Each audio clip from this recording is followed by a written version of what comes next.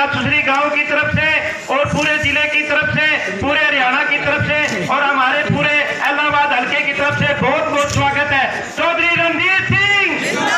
चौधरी रणजीत सिंह! चौधरी रणजीत सिंह! चौधरी रणजीत सिंह! नमस्कार मैं हूँ हनुमान पूनिया और आप देख रहे हैं अपनी न्यूज़। एलनाबाद विधानसभा क्षेत्र के गाँव नाथुश्री कला के अंदर हरियाणा के कैबिनेट मंत्री चौधरी रंजीत सिंह यहाँ पहुँचे हैं। उनका ग्रामीणों ने भव्य स्वागत किया है। वहीं आप देख सकते हैं पीछे इस तरह से लोगों की भीड़ है। लोग उनको सुनने और देखने के लिए यहाँ आए हुए हैं। चौधरी साहब का बहुत बहुत स्वागत है पास हो जाओ कराओ कट कराओ भाई साहब। आगो पास हो जाओ लंघने दो कोई नहीं कोई नहीं मिल गई जैसे इतनी ठंड में इंतज़ार था चौधरी रणजीत सिंह जी हमारे बीच आपको दो शब्द कहेंगे। चौधरी रंजीत सिंह। चौधरी रंजीत सिंह। चौकटा के कई सारे हमारे साथी क्योंकि आधे हल्के के बागड़ी बेल्ट के हैं, उधर नामदारी बेल्ट से स्कूल नज़र ही नहीं आ रहा बहुत बड़ा वो अलग गाँव रह गई थी पुराने दड़बा हल्के से चौकटा की समझो कि मेन हाजिरी इस इलाके की है मन था जी कि आपसे मिले। कृष्ण जी नंबरदार ने मुझे कई दिन पहले कहा कि जी एक बार प्रोग्राम बना लो। सच्ची बात है कि अभी मैंने रानिया का भी पूरा नहीं करा जी। इकतीस गाँव करे सारे सतासी गाँव है, बाकी अभी बाकी है। आज पहला गाँव आपका रख लिया, माफ़ी चाह रहा हूँ। दस बजे का था, सुबह को थे पाँच सौ, सात सौ आदमी होंगे जी, अब भीड़ है। छोड़ के जाए तो लोग कह देते हैं भाई वोट दिए हैं, तो देखना भी पड़ता है। तो मेरी मजबूरी थी दो घंटे लग गई थी। आया हूँ। पहली बात तो आपसे ये कहूँगा कि भाई कई दिन के बाद सरसे को राजनीतिक ताकत मिली है। मैं भी बना हूँ दुष्यंत भी बना है। और आप ये समझो कि 22 ज़िले हैं। हमें आधे के करीब महकमे मिले हैं दो आदमियों को, मेरे को और मेरे पोते को। तो सरसा ज़िले को पूरी चौधर मिली है। हालात क्या बने, वो आपने सबने देखा। कि किन हालात में बने, क्यों बने? इंडिपेंडेंट कितने जीते जेजेपी के कितने जीते? एक सरकार बन गई जिसमें हमें भी आवश्यकता थी, उन्हें भी थी। सामने रस्ते थे। कांग्रेस ने मुझे टिकट नहीं दिया। अब जीत के मैं कांग्रेस के दरवाजे में तो नहीं जा सकता था। जो टिकट नहीं थे, वहाँ मैं दोबारा कैसे जाऊँ, आप बता दो। कि ये तो कतई अपना ज़मीन बेचने की बात थी। इंडिपेंडेंट साथ थे। सरकार नहीं बनती थी। और बीजेपी के चालीस थे।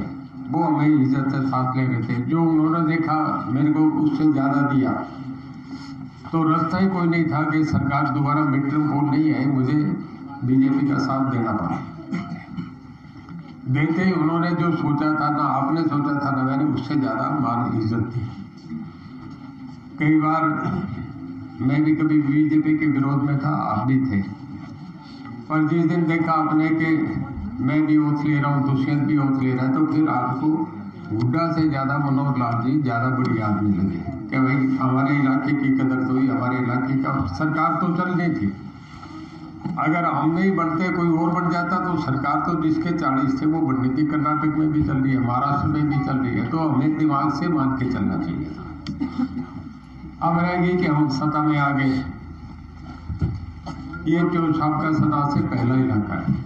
मैं रानिया से बन जाऊँ चाहे कुछ भी हो, आज भी देखें तो इलाहाबाद हल्का एक नंबर पे गिरते हमारे परिवार के लिए।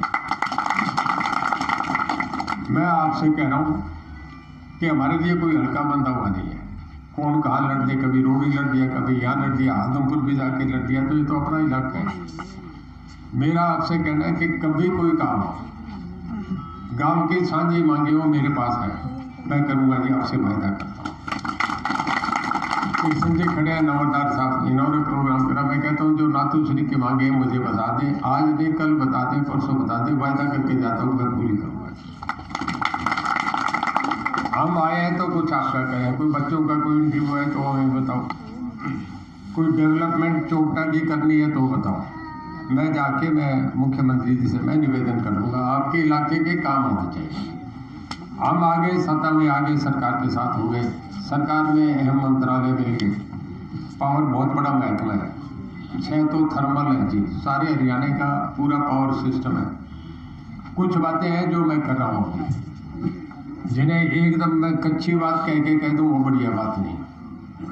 ट्यूबवेल का मामला है, लोगों से तीस हज़ार सिक्योरिटी के दे दिए, पचास हज़ार मोटर के दे दिए, सरकार की तरफ़ से लेनी पड़ती है मेहनत ले ली, पर पहले तीन चार साल से ये लिया जा रहा है लोगों से। और खंभों के अलग पैसे ले रहे हैं, किसी से पौने दो लाख, किसी से दो लाख, किसी से तीन लाख। अब मेरा महत्व है तो मैं दब के थोड़ी बात करूँ, जो है वो कहूँगा आपकी बात। उसमें मेरे संज्ञान में ये बातें मैं माननीय मुख्यमंत्री जी से इस पर बात करूँगा कि जिनके कनेक्शन है रुके हुए क्यों हैं, इसमें मुझे दो चार दिन चाहिए कि मैं करके इसको निपटाने का काम करूँ। मैं ये पेंडिंग नहीं रहेगा आपसे मैं कह के जाता हूँ।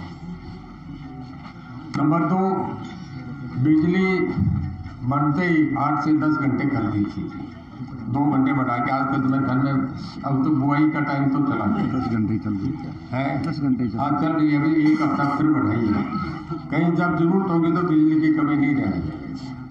तो मामला हो अगर यहाँ इलाहाबाद हल्के में कहीं क्योंकि मेरा मंत्रालय कहीं बिजली घर की बात अब भी उसके लिए कुछ नियम है कि आठ दस किलोमीटर में एक बड़ा है तो दूसरा नहीं बढ़ सकता। जैसे स्कूल टेन प्लस स्कूल नहीं बढ़ते उसमें भी एक पैरामीटर तय करा हुआ है। तो जहाँ पढ़ सकते हैं, आप मुझे बताओ, मैं बिजली घर पढ़वाऊँगा जी, पूरे इलाहाबाद हल्के में, जहाँ भी ज़रूरत है, मुझे मैं जेल मंत्रालय से वास्ता नहीं पढ़ना चाहिए। अब तो दड़बे वालों का काम है, तुम्हारा इससे तो ना वास्ता पड़े तो बढ़िया, बाकी न्यू रेन्यूएबल एनर्जी है, जिसे सोलर एनर्जी का कहते हैं। उसमें आपके जहाँ भी कहीं डालियों में और में लगना कुछ गवर्नमेंट ने नया सब्सिडी पे दे रहे हैं। उसमें ज़्यादा खंभे की ज़रूरत नहीं, जिसका एक डाली दो मकान है, एक कमरा है। उसमें जो हम दे रहे हैं, उसमें सब्सिडी है। मतलब तीन बल्ब, एक पंखा, एक वो चार्जर स्विच चार्ज करने के लिए।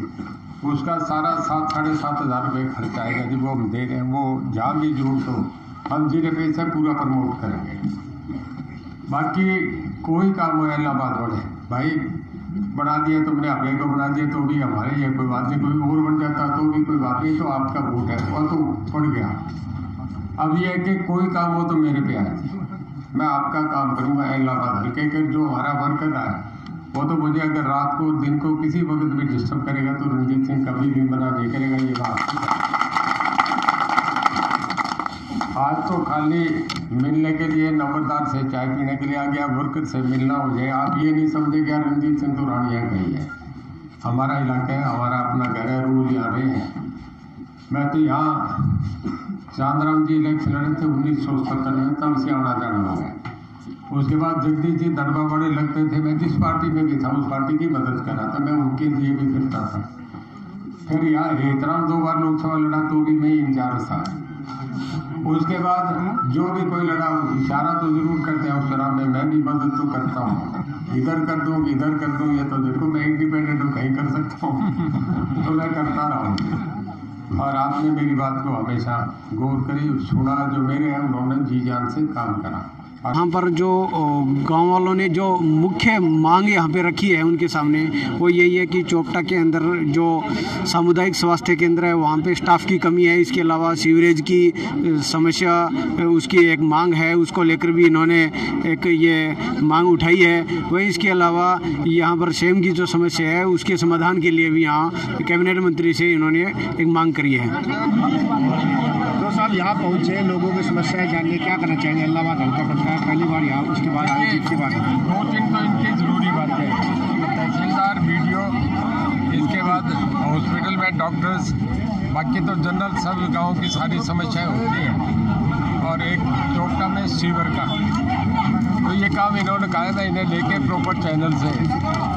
अभी है बड़ा ये नहीं है कि ये अभी नोटिस में आई है पहले भी नोटिस में आई है। और मेरे ख्याल में इससे पहले वाले लोगों ने करी है। मैं इस पर कोशिश करूँगा। ऊर्जा से ये काम होगा तो तुरंत शुरू करवा दूँगा। फिर इसमें देर लगेगी। ऐसा जी, ये प्राइम मिनिस्टर का ड्रीम प्रोजेक्ट है। एक लाख मेगावाट उन्होंने पूरे देश में देना है जिसमें हरियाणा पॉपुलेशन के हिसाब से जोग्राफिकली हमें कोई सत्ताईस सौ टन मेगावाट सत्ताईस सौ मेगावाट आता है। जिसे हमने एक साल के टारगेट में करना, हम एक साल से पहले इसे पूरा कर रहे हम काफ़ी तो इससे जो न्यू रेनेबल एनर्जी है, इसी से इसको करेंगे। और बाकी कहीं रहेगी तो कोल से भी होगा, पर इसे जल्दी करेंगे। मैं अब शुरू करवा दूँगा जी, जो रुक है इस तरीके के, अगर उसमें कोई दिक्कत आ रही है, कोई कोर्ट मैटर्स है तो वो तो दूसरी बातें हैं। पर खाली अगर विभाग की कोई लापरवाही से रुका हुआ है या नहीं, उसे देखा जा रहा है या ठीक तरीके से फॉलोअप नहीं करा गया, उन्हें मैं करवा दूँगा, कोई दिक्कत नहीं। देखिए, एक फैसला सेंट्रल गवर्नमेंट ने करा है जिसके हम साथ पार्टनर हैं, हम सरकार के अंदर हैं, हम सरकार के साथ हैं, जो भी डिसीज़न हुआ है, उन्होंने ठीक करा है। ये तो कुछ लोग हैं जो ओवैसी देशों की स्टेटमेंट आती रहती है, उनका कोई देश सुनता भी नहीं उन्होंने क्या कहा, नहीं कहा, मैं उससे नहीं जाना चाहूँगा। उनका अपना अपना राय है, उन्होंने दी है। मैं जो कोई ऐसा मामला होगा, उसको देखेंगे कि उसे कैबिनेट में आए, इस मामले को कैसे, किस तरीके से सबकी एक राय, अगर कैबिनेट का कोई एक राय बनती है तो फैसला लागू हो जाएगा। बाकी तो अपने इंडिविजुअल राय है, कोई क्या कह दे वो अपने अपने व्यक्तित्व है, उसका कोई मतलब नहीं। सरकार का लेना देना जब होता है, जब कैबिनेट फैसला वो भी आ गया कि उसके साथ कैमरे अटैच होकर वो होगा। तो लोगों के सामने सारी बातें सामने आ जाएगी, पारदर्शिता रहेगी। अपनी न्यूज़ के लिए जगत परदेसी के साथ हनुमान पूनिया।